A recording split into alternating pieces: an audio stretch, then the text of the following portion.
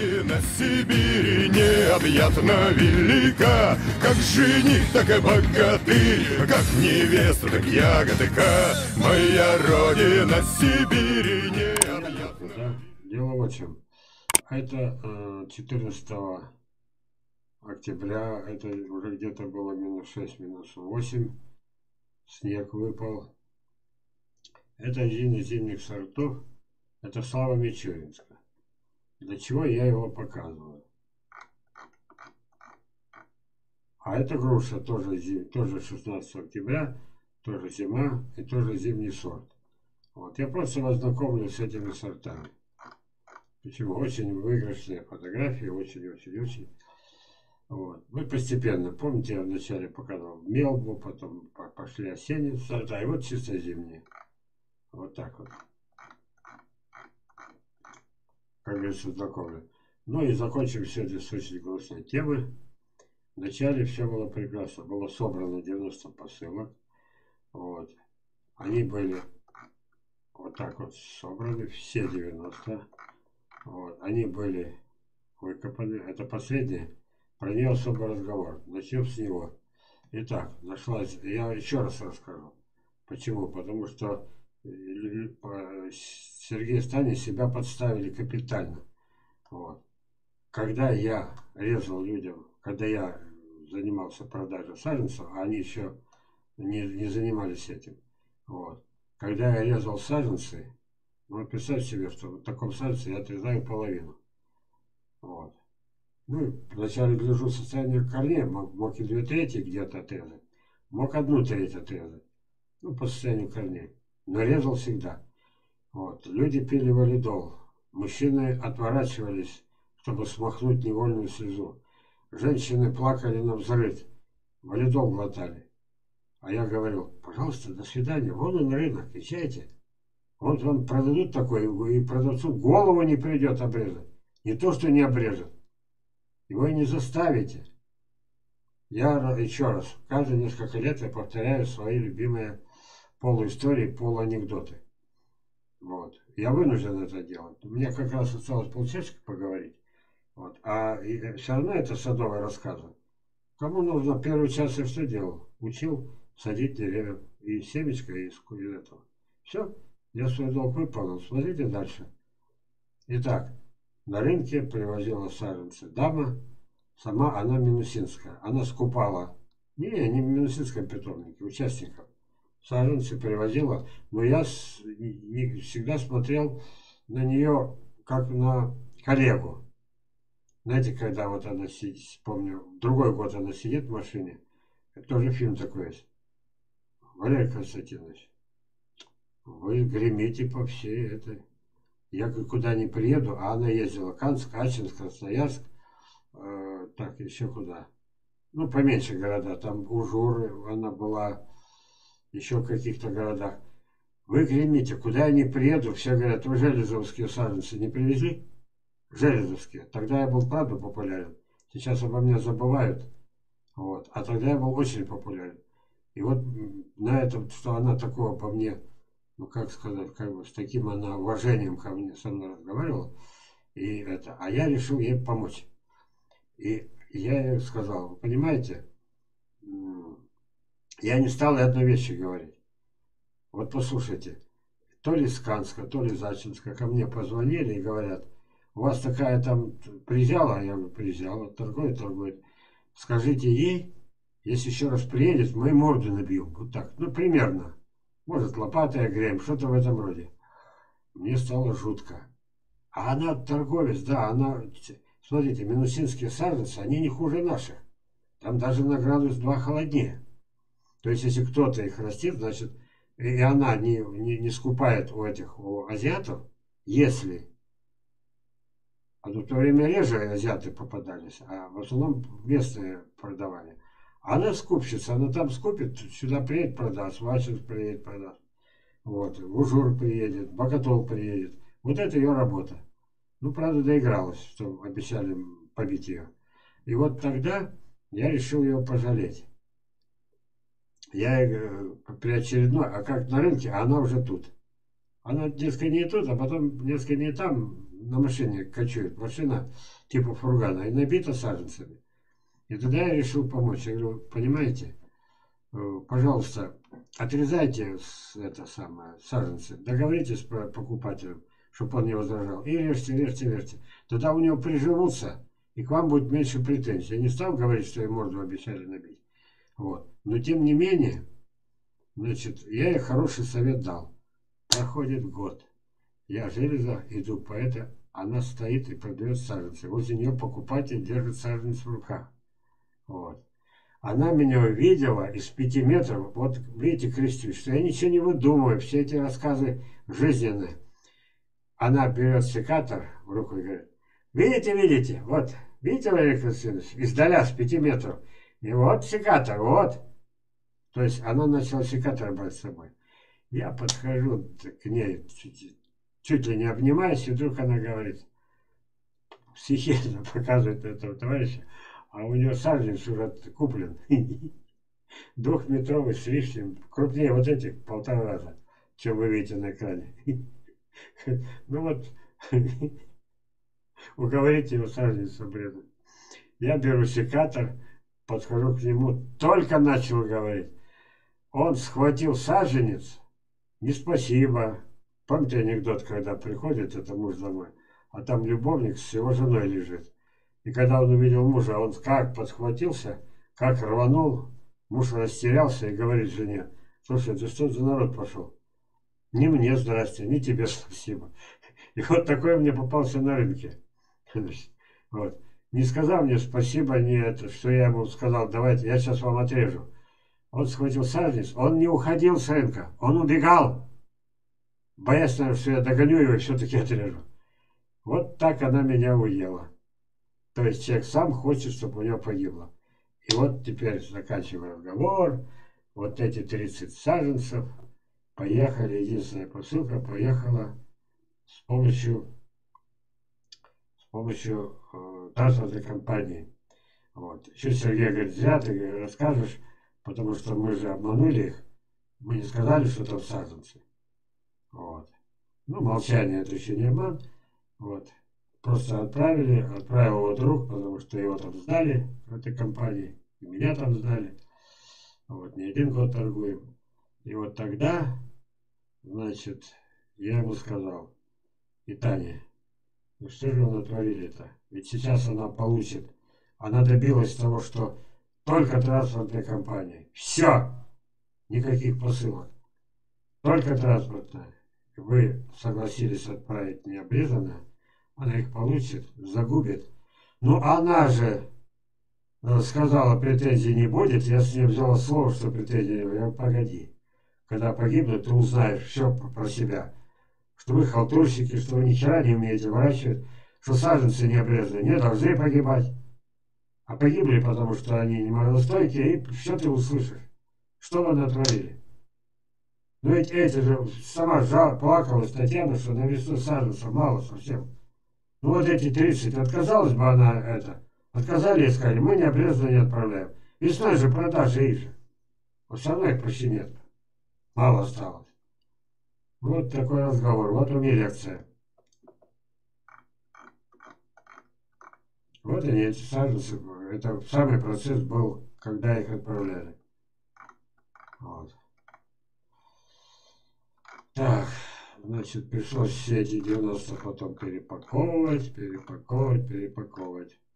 Почта изменила правила, людей не предупредили. Это было тягостно. Сделал я фильм. В этом фильме я вам покажу. Мы прикапывали Сергея Сажица. Заодно вас учу прикапывать. Вот, потому что прикоп бывает ловушка смертельная, а бывает прикоп, который полезный. Вот это, это, об этом есть отдельный фильм.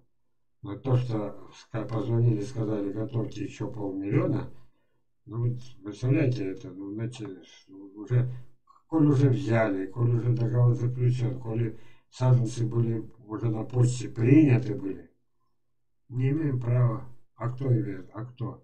А мы тут при чем? Как и жалели наши почтовики, тоже чуть не плакали. Ну, запрет идет не из Саяногорска и даже не с Абакана. Вот, обидно, страшно. Все эти коробки были разрезаны. Вы видите потом в фильме. Разрезаны, перепакованы на меньшую. Все равно доплачивают. Вот, еще раз скажу, почему. Я сказал, Таня, я помогу хотя бы так. Дело в том, что она сказала, ну хорошо бы, чтобы вот владельцы этих коробок, а они есть среди тех, кто... Ну, кто покупал? Тот, кто, кто... Вот они сейчас тут, среди нас. Были записи увидят. Почему? Да потому что откуда же они про дистанцию знают? Только из моих фильмов, с моих лекций. Значит, они меня слышат, хоть половину услышат. Последние слова Тани были вчера. Вот, еще парочку догонку а, коробки разрезали. Вот те 80 коробок ушло просто так. Разрезали. Целый день на площади перепаковывали. Таня с помощником еле живая. Вот. Почему она еще ходит, не знаю, как она умудряется с температурой. Вот. Единственная ее просьба еще, Константинович, когда будете проводить значит, вебинар, кто-то может вас услышать. Ну, еще рублей 400 по 500 добавить, чтобы это, потому что она это плачет. Я же рассказывал, я ничего не увеличиваю. Вот. Я пошел доллары, поменял последние, свою заначку, я их называл, ну, знаете как, гробовые, не гробовые, но вот, поменял на 90 тысяч рублей, отдал ей, вот, она сейчас еще полностью не рассчиталась, говорит, ну, еще бы рублей по 400, по 500, и тогда я это. И когда-то мне сможет долг вернуть, хотя бы частично. Вот. Это очень тяжело, это очень морально тяжело, когда обманывают на ровном месте. Ну, захотели заработать на людях, ну, предупредите. И не собирали бы эти посылки, ведь они, за них плачено, они привезены с Абакана, с фабрики. Вот, и если вы решили, чтобы покупали только ваши, которые стоят огромные деньги, часто больше, чем стоимость саженца. Ваши коробки покупали. Вот. Но предупредите. Вот так вот. Обидно, страшно получилось. Вот. Это не коснется следующих покупателей. 10 или 12 посылок было разрезано на моих глазах сегодня. И прикоп. То есть нашлось 10-12 человек, которые сказали, ладно, мы подождем до весны. Вот и все. Ну, а прикоп мы умеем делать. Для этого есть специальный фильм. Вот и все. Ну, а эта дама, которая запретила резать, вот, я считаю, Таня совершила ошибку. Послала бы ее. Или отрежем, вышлем почтой. Вот. Она получит их. Но выкормить, значит, осенью без обрезки. На. Так, ну что, закончили эту тему.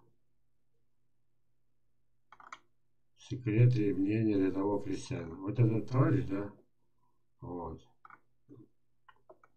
Фамилия Заика, интересная фамилия. Так вот, это его статья, и мы к ней уже почти подступились. Но мы не стали прорабатывать. Я только показал вот так вот, помните предыдущий вебинар, где его манилезы Паше не существует. Вот. Он мой ученик, но экстремал, экстремист. Манилез и Парша существует, но это я говорю. Вот. Он как бы мою поддержку, но надо было не так написать. Манилез и Парша не является причиной болезни деревьев, а следствие болезни и садится э, гриб, и тот, и тот гриб, и манилия, и парша садится только на мертвые клетки. Это может быть где-то маленькое пятнышко, а где-то целый лист мертвый. Никогда здоровая ткань не трогает. Никогда. Это ошибка всеобъемлющая, всероссийская. Это значит, только наступила весна, э, это а, самое, извини, я вмешался в этот процесс. Я еще раз благодарю за эту статью это мою поддержку. Я, я прямо буквально тебя боготворю, дружище. Вот. Манилез вишни – это миф. И речь идет не только о вишне. Вишня уничтожает двумя способами, я об этом рассказывал. Специально уничтожает, но они не знают, что они уничтожают. Вот. И тогда получается, что я взял вот так вот, сделал фотографию прямо с экрана. Почему? Тут же реклама вишни, да, по, это прям как назло. Вот человек пишет толковую вещь, что нельзя резать, нельзя резать, нельзя резать, нельзя резать, нельзя резать. Тут же обрезка вишни для богатого рожа. Это совпадение. Он про это пишет. Вот он, видите? Манилов вишни. Так. И тут же, вот это, конечно, совпадение дичайшее. Тут же сейчас будут учить, тот, кто нажмет сюда, по, почитает его. Очень толковая статья. Вот. Вкратце технология железа. Приобрел сажень, сделал необходимую важнейшую обрезку кроны. Ну, нормальный мужик, вот действительно. Здесь же вам научат, как уничтожить эту же вишню. Да что же это за такое? Ну что, заканчиваем разговор? Да, пожалуй. 42 минуты. Чуть покороче. Но что мог, я вложил сюда всю душу. Вот. И мой друг тоже вложил сюда душу. Алтайский друг. Так, что же еще? Да, мы сейчас с вами переходим на вот сюда. И расстанемся на 10 минут. Нет, на 5 минут. 10 это сильно долго. Все разбегутся. Устанут ждать. На 5 минут.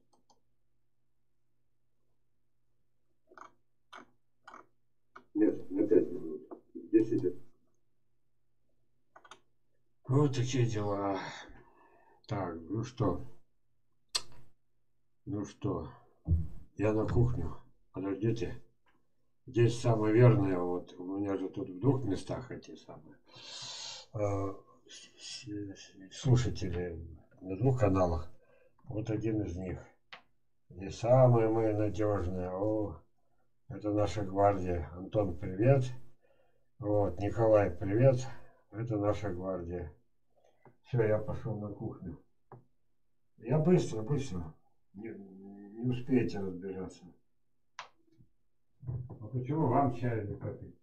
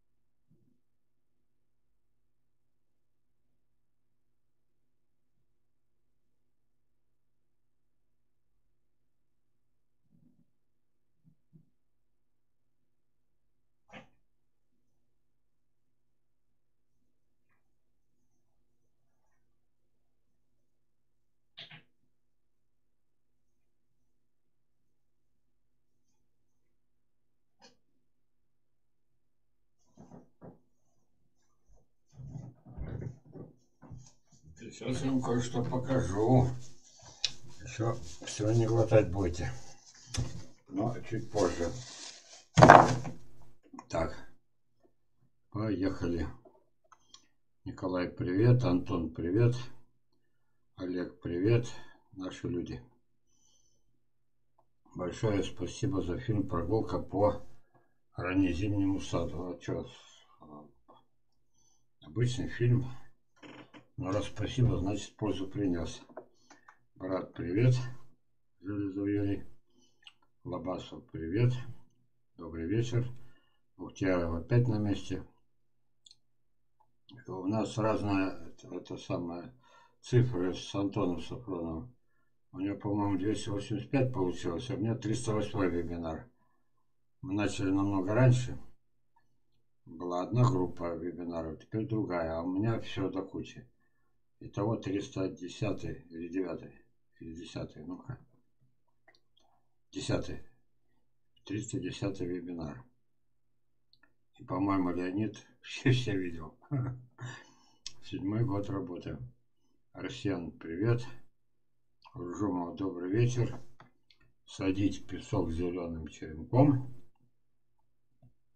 А, персик, персик. Так, садить персик зеленым черенком, не вызревшей корой.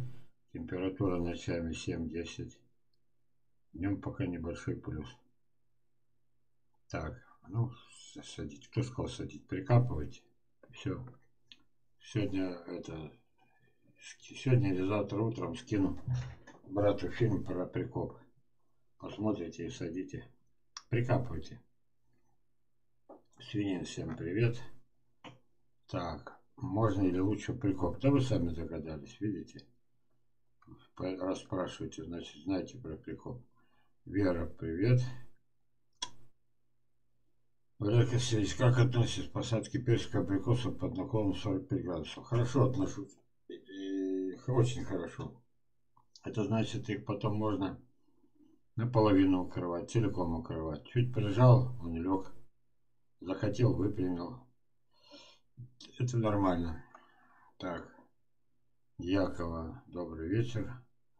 Валерий Константинович, весной посадила ваши костики абрикосов из слив. Ага. Из 50 штук вышло 28 абрикосов. Успех! Для меня 28 из 50 это сад готовый. Слив 3 из 40 слив, да. Они взойдут на следующий год. Это их любимое занятие. Хобби у слив такое. Хобби. На год позже сходить. За лето некоторые сеянцы абрикоса выросли выше моего роста. Ой, за одно лето. Выше роста. Холмы приготовились, я буду пересаживать, пересаживать абрикосы, которые выше вас. Боже мой, бедные абрикосы, и вы бедные. Вы же постарайтесь как можно лучше корни сохранить. Постарайтесь какие-то оставить на месте навсегда. Нет, вот. То есть где-то они растут густо, ну, постарайтесь некоторые оставить. Так, ой, что-то зрение садится. Так, Вера, Валерий Васильевич, добрый вечер. Может глупый вопрос, но все же, как лучше подвязать абрикосы сеянцы этого года в зиму, чтобы их не поломало снегом. Первый ряд достаточно плотно к одному колышку, воткнутому близко к стволику. Или второй вариант, вот тут два колышка на некотором расстоянии от сеянца, и между ними натянуть бичок. Это вы сами уже все придумали. Сам сеянец, получается, не, не привязан, но находится между натянутыми бечевками.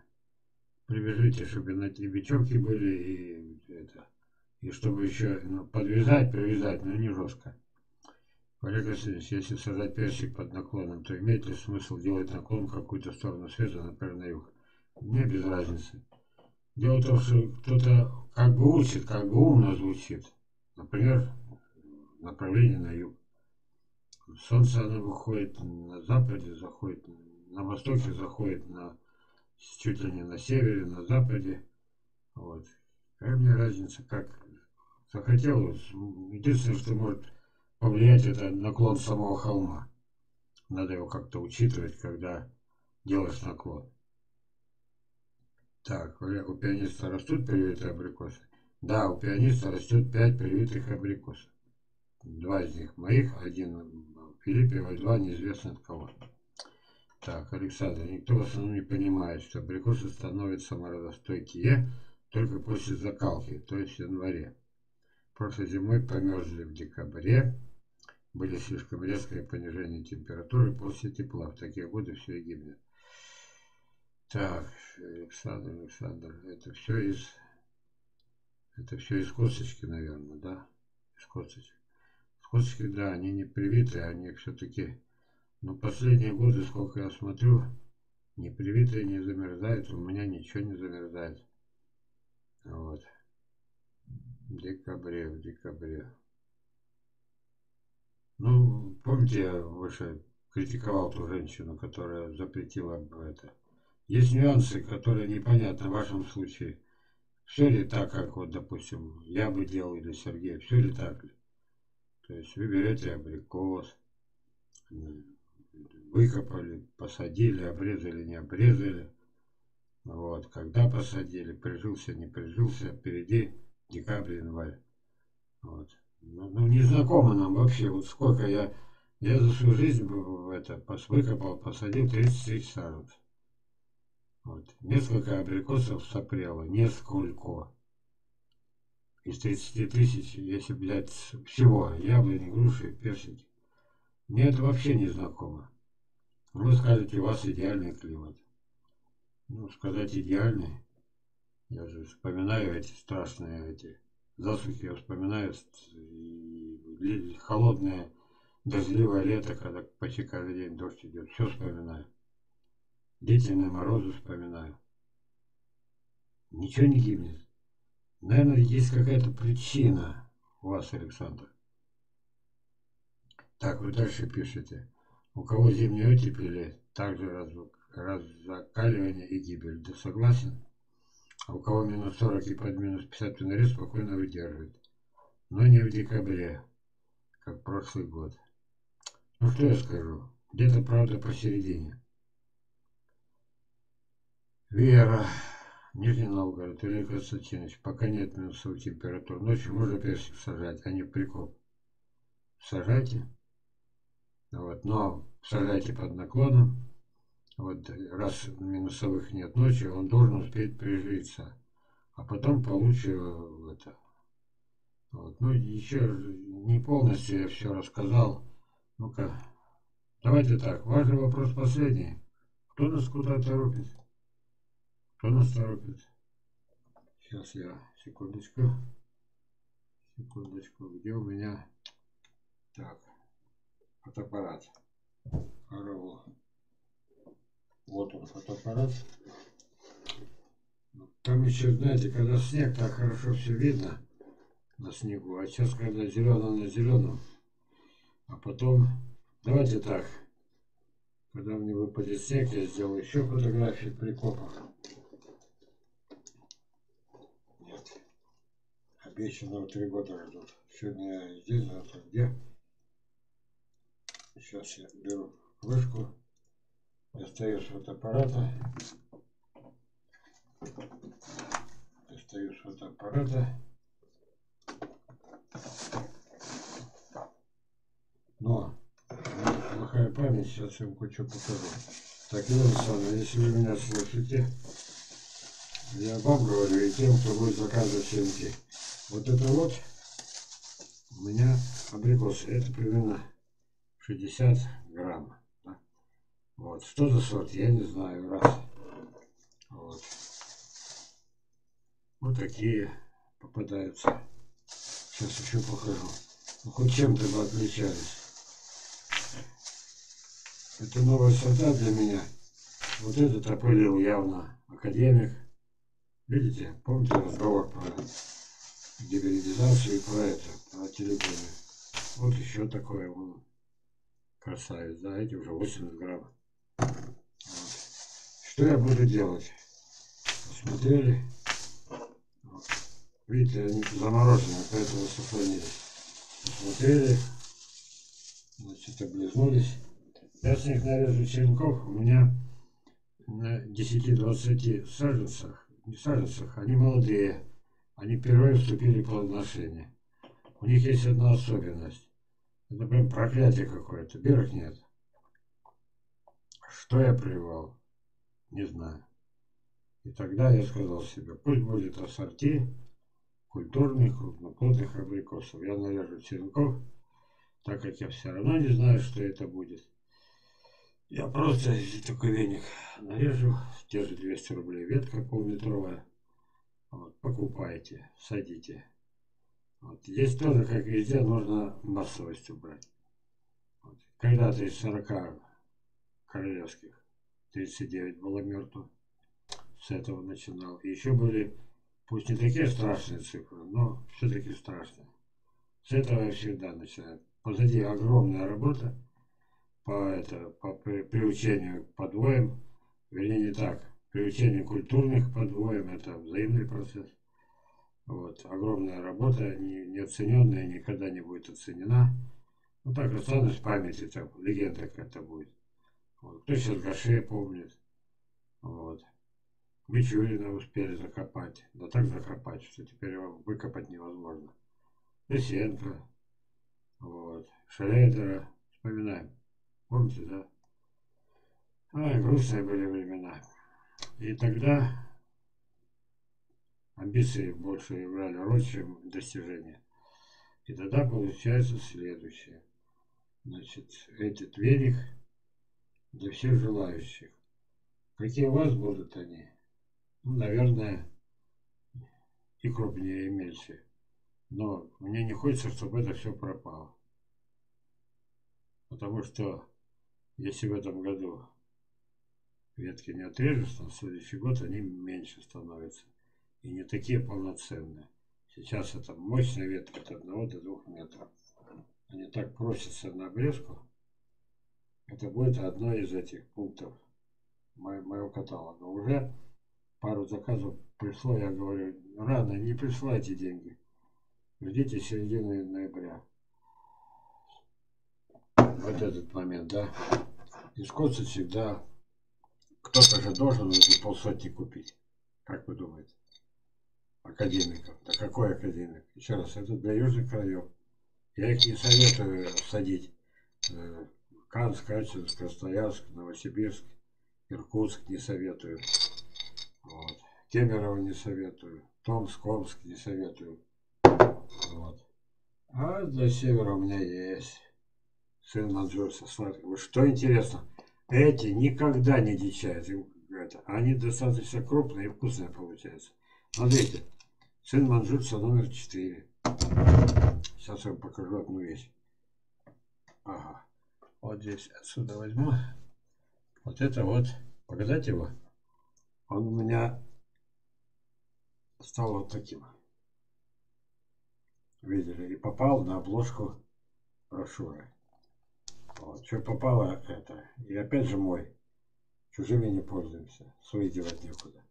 Вот, пожалуйста. Видели? Видели? Да, гибридный.